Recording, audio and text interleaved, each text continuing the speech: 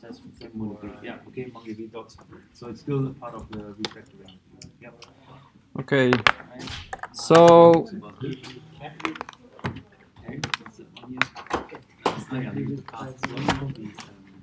so I will very briefly uh, talk about organizing the project.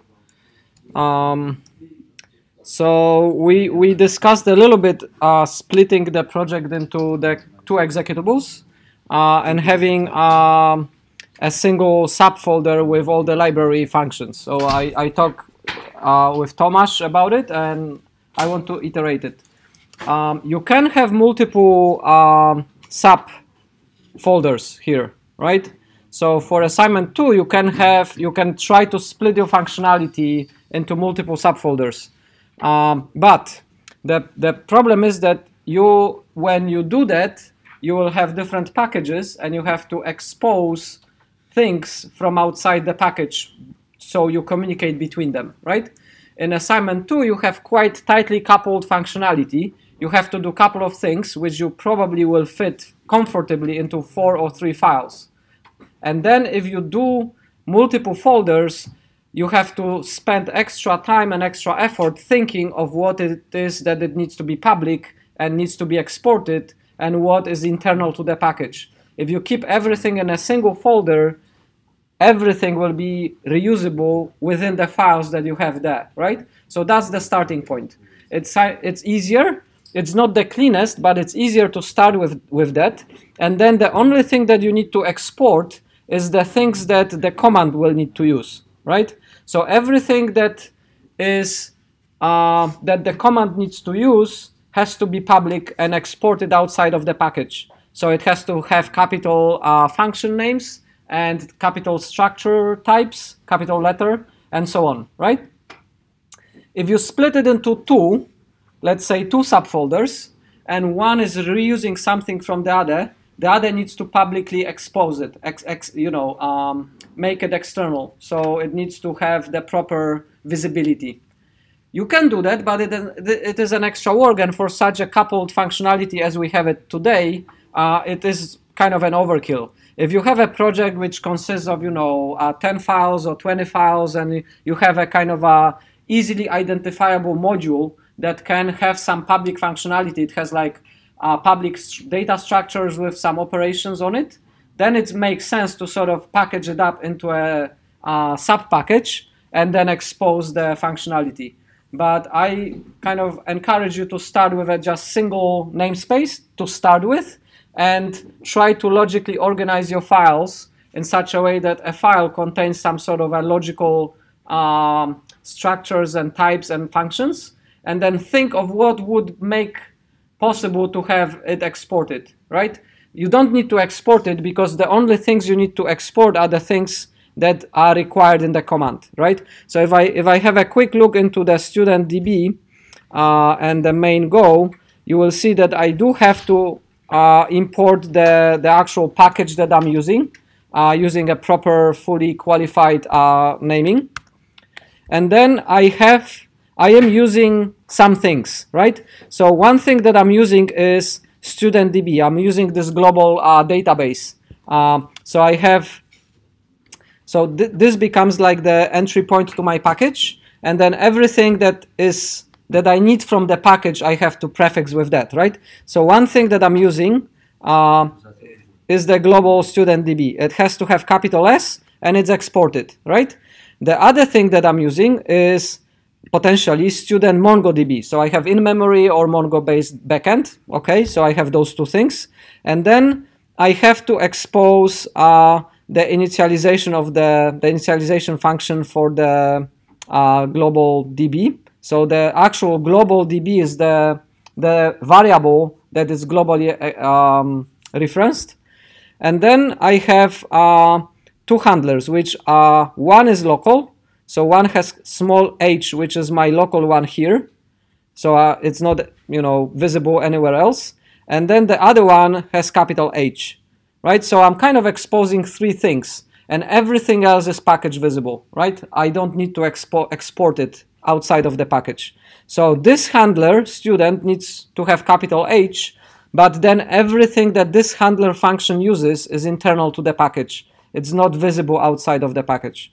Um, so, you know, when you're refactoring your code and when you're refactoring stuff to uh, fit into this uh, command pattern, what you should start is you should start writing the main function. So you should go into your um, into your command subfolder and see what sort of uh, main functions do you have there, how they will look like, and what they will use. Because whatever they use needs to be exported and made public on your in your package. And then everything else, you just shuffle it into a single um, single folder, which will be like a package containing all your library.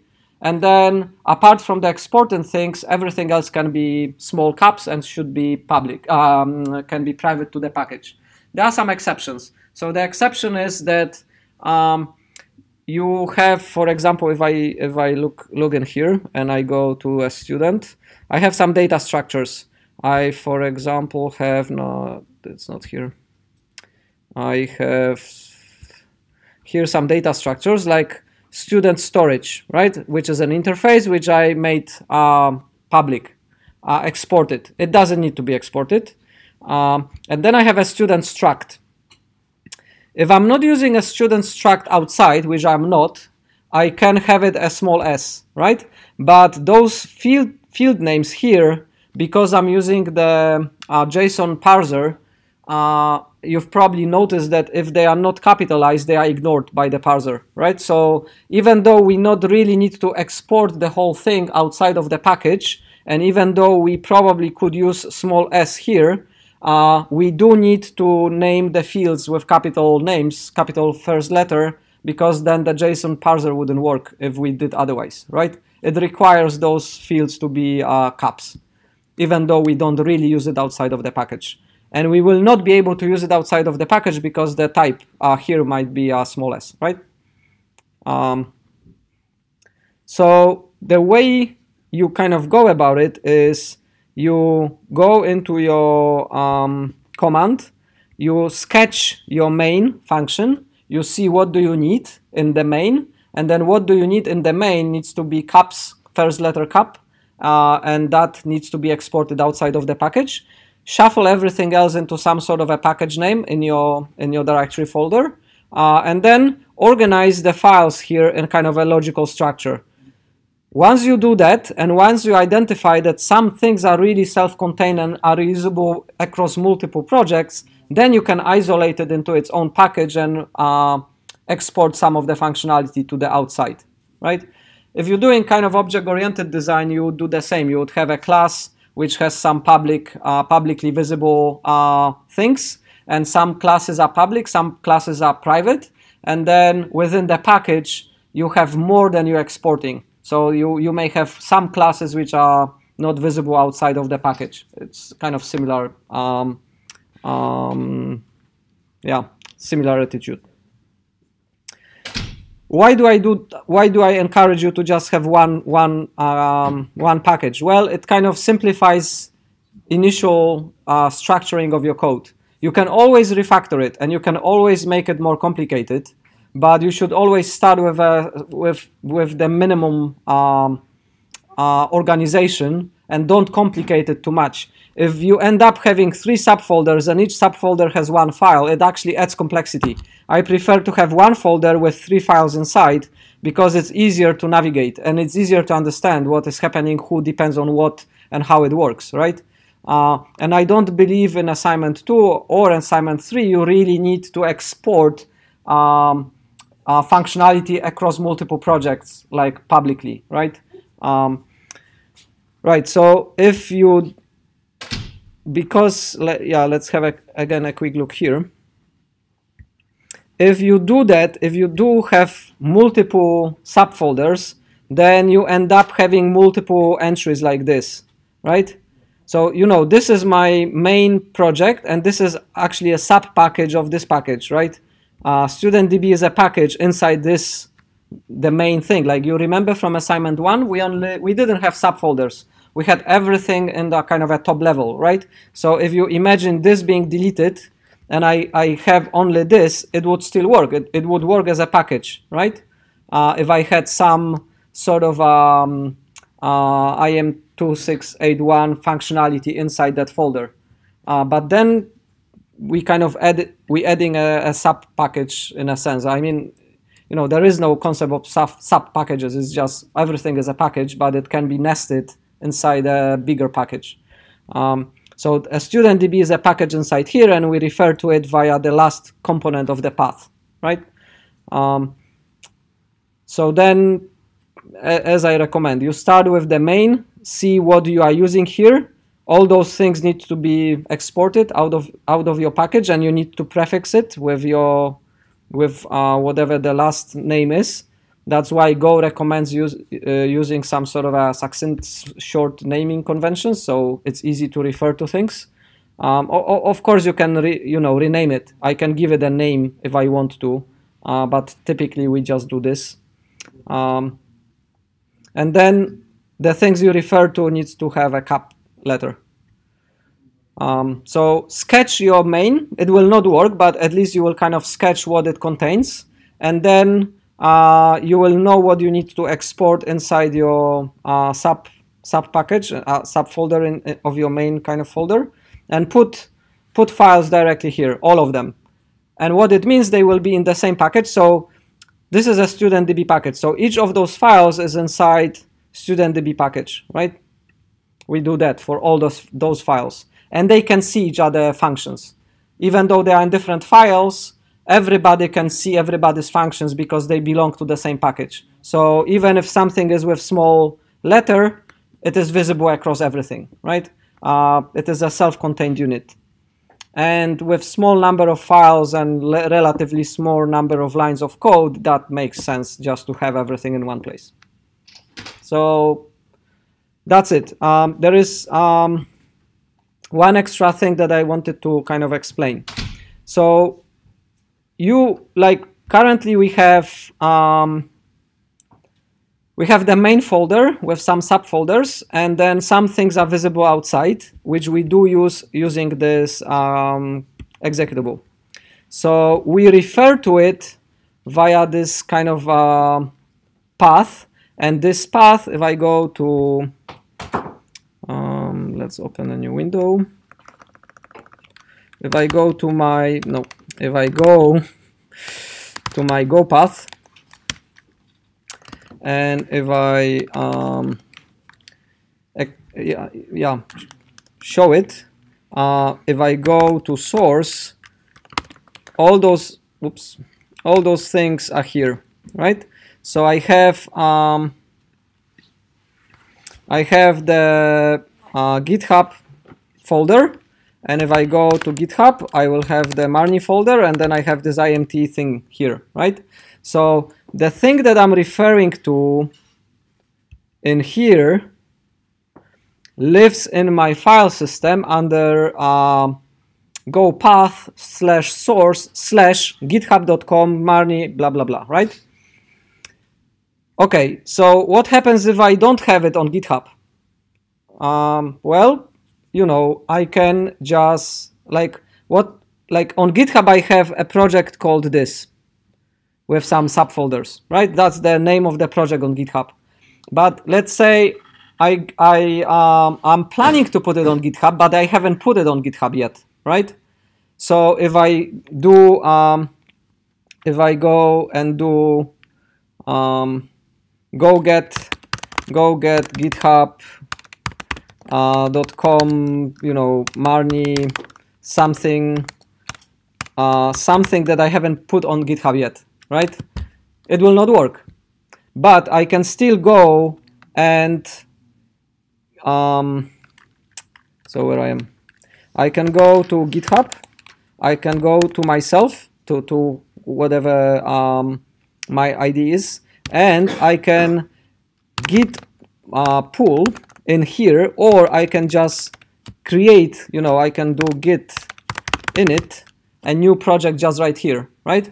So as long as you're doing it manually it doesn't matter how Go manages that it will still work and you can still refer to it using that notation right? It's just that you cannot use go get to get it because you're managing it manually. Uh, so to not confuse the manual management from um, from Go get management, uh, sometimes what we do is um, okay. So one more, one back. So I'm now in source. So if I do this, uh, you see I have something called Mariusz local, right? I cannot say go get Mariusz local uh, project one. Of course, it's not gonna work because you know Mariusz local is not a host, right? But it will work if I say Mariusz local slash whatever slash whatever, right? It will refer to my uh, folder structure as I have it locally. So I can have, if I go to Mariusz local, I can uh, have some repositories here which are not visible publicly anywhere. So go get will never work with them, but I can kind of um, uh, use git command to uh, to work with them. Let's see if I have some. I have some, you know, I have uh, hello world and a lot of things that are kind of local, which go get will not work with, right? So I have uh, probably did git clone and then used some sort of a uh, GitHub or whatever, wherever the, the Git was stored, and then pulled some of those projects here, uh, and then I can use them using Go without having them being published publicly, right? So if you're experimenting with things and you don't want to put all your experiments on GitHub, you can either pretend that they are on GitHub and manually pull stuff under your GitHub kind of a folder under source, or create um, another um, yeah, another folder under source, which will work as a prefix instead of the host for your for your content. And then you refer to it via the, the same notation as, as in here, right? One caveat about this, um, everything that you do here has to work on Heroku if you want to deploy it on Heroku, right? So for local experiments, this local thing works fine. But if you are deploying stuff on Heroku, then you know Heroku needs to get all the dependencies from somewhere. So if something is not publicly visible anywhere, then you know how you're gonna do this. Okay, so normally for assignment 2 you don't have to deal with it because the only external dependency that we have is the MGO, Mongo, driver, which is visible. But imagine that you do have some dependencies that are not publicly visible in some private repository. Then how would you do that? Well, you know, one way of doing it is to create a folder here called lib or something like this and have the dependencies actually in your tree, right? So you make kind of uh, all your dependencies visible here. So then when you push it to Heroku, Heroku can compile the whole thing and just work with the local um, dependencies around here, right? And they will be referenced the same way as you're referencing yourself, right? Uh, they, they will just work. So then you have two ways of referencing it. You can either use, uh, like we're doing here, you can use the absolute path names like this, and the absolute path names don't have a dot in front. But if I say dot slash something something something, that means I'm referring to something um, in the file system relative to where the current project is, right? So uh, if I said um, dot dot slash dot dot slash student db to go two levels up and then go to student db, that dependency would work as well, but then you're using relative uh, package dependencies. So then Go commands will complain. So you cannot mix the global and relative um, things because then it, it, kind of gets confused. So if I go to my, um, so let's go to GitHub to this studentdb thing and if I say go build and I will use the local one so okay let's make it. Yeah so I will try to build my main goal from the student DB using the relative path right? I will try to do that. Yeah it actually worked. Um, yeah, but some some things don't work. So sometimes you get a com- uh, uh, comment saying you're mixing kind of relative and absolute uh, path names. Yeah. Did you update the path name? Sorry. Did you update the, uh, the path name? Uh, because I didn't see that you wrote uh, that it was relative path. Yeah. So here here is the relative path to the main, but main references absolute path into the student DB.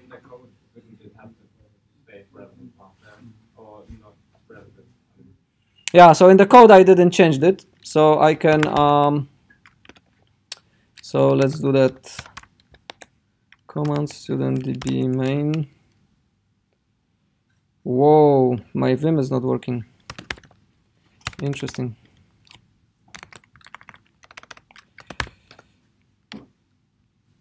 So if I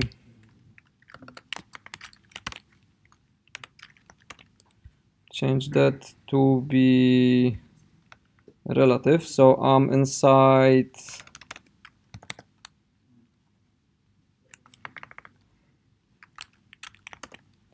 Okay, let's see.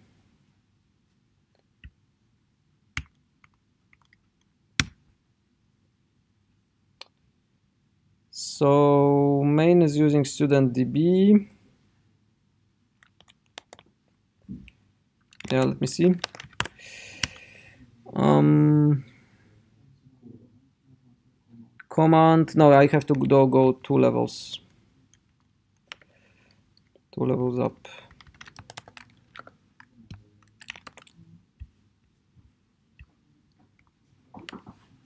Oops. Yeah. So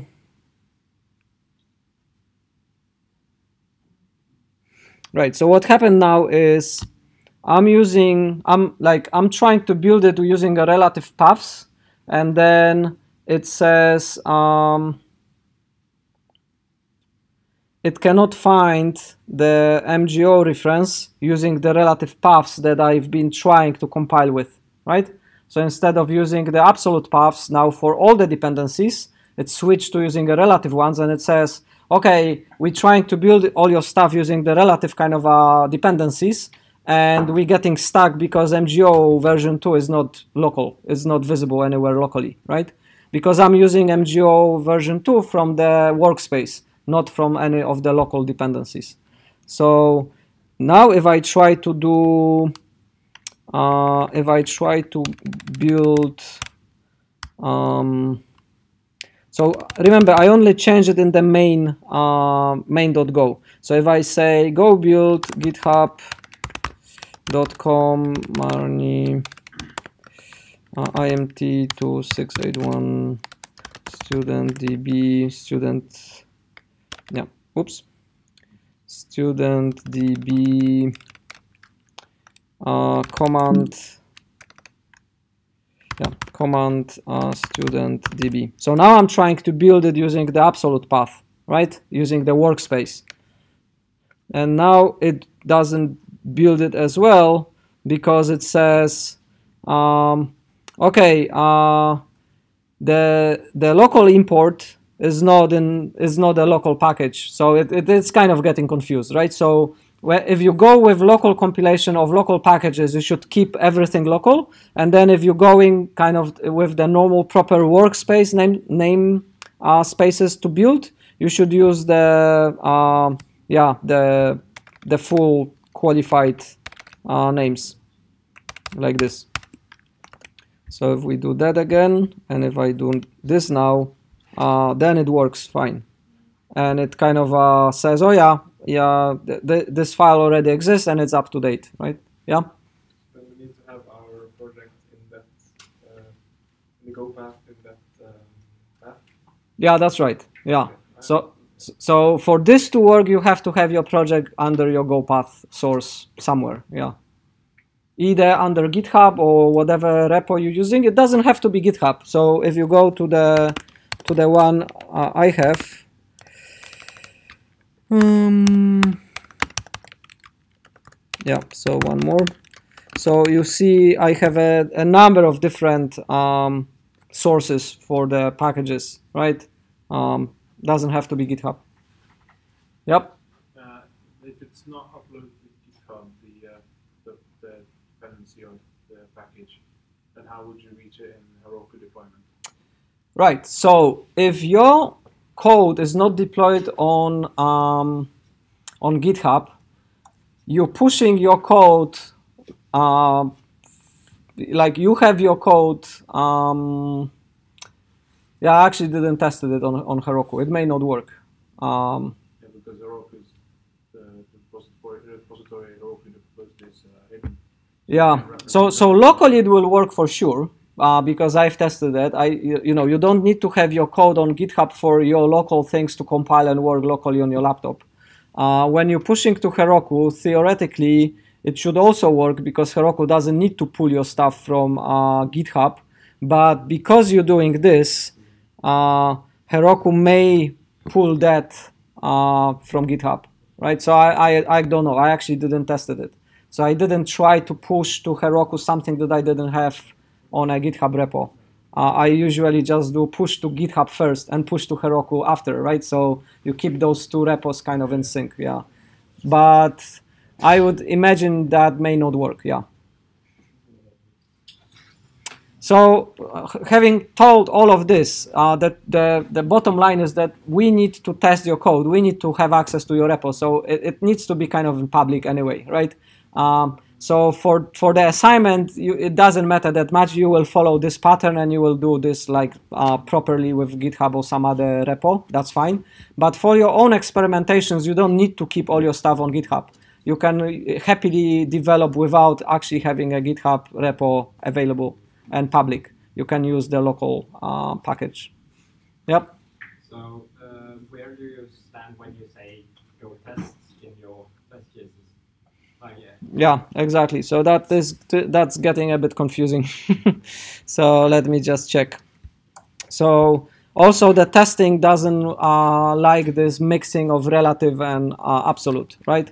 Usually it works quite fine if you stand in the, so for example, if I go to GitHub company, this one, and if I go go test uh, v and I use a relative um, path, so let me just show you here. I have, um, so if we go here, I have a number of uh, packages. One, oh yeah, I didn't push it to the, um, I didn't push it yet. So if we go, go work, source, GitHub.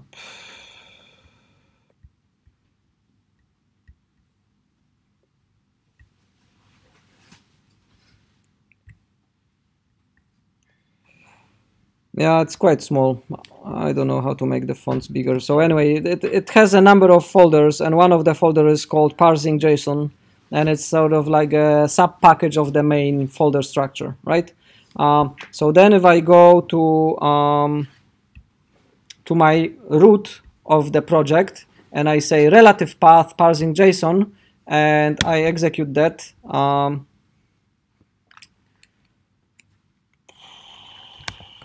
parsing JSON and I execute that, it will actually run all the tests inside that package, right? So it, is kind of okay. Uh, you just go with your CD to the root of your folders and then run that. If I were to say go test and instead of parsing JSON I would say github.com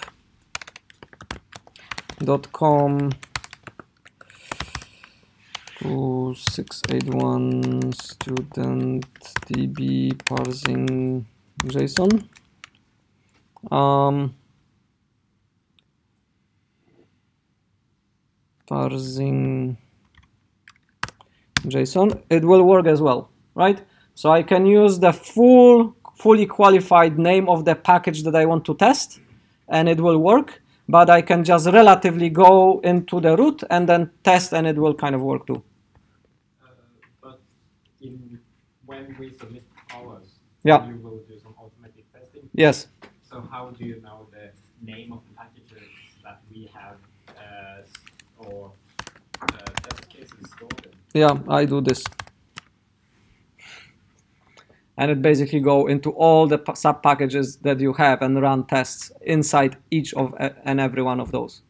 Okay, uh, and one more thing. When I searched online uh, in the previous lecture because of the uh, last event, uh, they said that they recommend having one package where you store all the tests. So uh, apparently Go doesn't require your tests to be in the same package as the thing they are testing. True. Is that something we should do, or should we have all tests like you seem to have with the test in the respective uh, folder for the uh, for the package? Yeah, so um, it depends. Uh, I feel that if you're testing stuff that requires the access to the local package things, it's better to have it inside the folder that the package is in, right? Uh, if you're writing tests that only test the publicly visible APIs, then of course you can have it in any other package, right? Um, so it sort of depends on the nature of the tests you're doing. Um, for this type of testing, uh, it doesn't matter really, uh, as long as you have a proper test coverage. And I believe if you're only testing the public APIs, you may have a harder time covering all the unit tests for everything that you're doing. And also they tend to be more like uh, integration tests, like more you you you um, you know what we expose outside of the package is usually very small amount and very uh, a lot of work, right? when when you're doing unit tests, you want to isolate tests to very small chunks of your private stuff that you can kind of test it before it's integrated into larger pieces. Um, so it may be useful to have more tests inside the package than a kind of outside of it. Yeah. It it like we spend more time on testing strategies in the third year. Like we, it, is a complicated topic. Like how do you organize your tests? How much unit testing you do? How much integration testing you do? How much uh, end-to-end tests you do? Uh, where you keep the stuff? How you organize it? How you automate it? Yeah it, it doesn't matter that much for this course. Like keep things simple put the tests into the same package you know add extra two or three files and that's it yep Of course, do we go more into testing? um, we we do that in the applied computer science project and and the integration projects in the master's level. I I don't think we're doing much more in the undergraduate level apart from the professional programming in the final semester, sixth semester of the um, bachelor program. So there is a five-point course called professional programming, and we do uh, test strategies and test coverage there. Um, but we do more in the fourth year. Um, yeah. All right. Any other questions about organizing your packages and organizing the code? Is it clear clearer now? It, it is not that complex actually. Like uh, keep it simple. Keep all your library into one subfolder. Keep the commands into the command uh, structure try to keep only one file in your main, like in your executables, and expose what you need for the executables. And also think logically, like what would el- what else would I would kind of expose outside? What else might be useful uh, for people to use if I'm building another executable? What else I may potentially be using? Um, but you, the bare minimum to expose is the stuff that you need in the main.go. Okay, so um, given that I have the microphone and the camera, I will also go a little bit into the JSON parsing now. So I wrote um, like the normal way of us doing, where's the... Uh, okay, let me tidy up a little bit here.